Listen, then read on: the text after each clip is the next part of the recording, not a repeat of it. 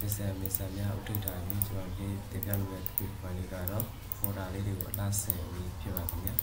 ကျွန်တော်တို့အရင်ဆုံးပေးထားတဲ့ software လေးကို down ပြီးတော့ setup ဖြစ်ရပါမယ်ဟုတ်ကဲ့ဒီမှာနော်အခု software တော့ဖြစ်ပါမယ်ဒီမှာ folder လိုက်ဒီ software လေးဖြစ်တိုင်းဒီလို file လေးချလာပါမယ်အဲတင်နေလိုက်ပါမယ်နေဝယ်ဒီမှာ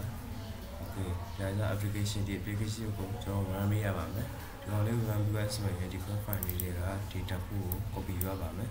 copy ယူယူပွန်းဆိုရင် copy ယူလိုက်ဒီကောင် CD မှာ program file 64 bit မှာတော့32 bit မှာဒီအောက်မှာထည့်ရပါမယ်အာ64 bit မှာဆိုတော့ program file program file လေးကကျွန်တော် folder highlight folder highlight ထဲမှာပေးချပါမယ်ဒီရှိပြီးတော့ထည့်ချရပါမယ်ထည့်ချမှတော့ register ပြပါမယ်ဒီမှာပေးချရပါမယ် ဒီ PY ဆိုရင်ကျွန်တော်ပြန်ထွက်လိုက်ပါမယ်ထွက်ပါဆိုကျွန်တော်တော့ပြောင်းကြည့်မယ်နော် Okay PY ဆိုရင်ဝင်ကြည့်လိုက်ဒီပြောင်းနေတဲ့ file တော့တော့တော့ folder နော်ဒါရပြောင်းပွဲတိုင်းအောင်ပြောင်းအောင်ဒီ bracket နဲ့ neighbor folder highlight ဟိုမှာ always ဟို fill လို့ရှိလိုက် Okay ပြောင်းသွားရင်နော်အဲ့လိုပဲတစ်ခုချင်းနေပြောင်းလို့ရပါတယ်ကျန်တဲ့ရောင်ပြောင်းလို့ရပါတယ် အကုန်လုံးပြီးမှ fill လို့ရပါတယ်ဒါကြတော့တစ်ခုချင်းပြရအောင် Okay နော်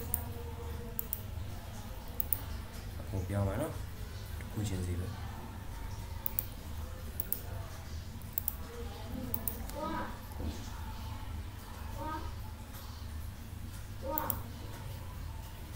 โอเคအောင်အစီအပြေပဲထင်ပါမယ်။တော့ဘယ်လိုကြည့်လိုက်။ Okay အောင်အ Awesome, do you right here?